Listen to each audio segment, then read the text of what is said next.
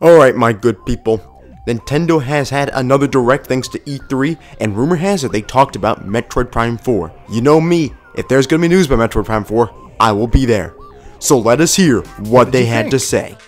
Before we show this next trailer, I'd like to say one thing. Currently, we're working hard on the latest game in the Metroid Prime series, Metroid Prime 4, which we previously announced. Uh, that's it? That isn't a whole lot. Like, all they do is just talk about it.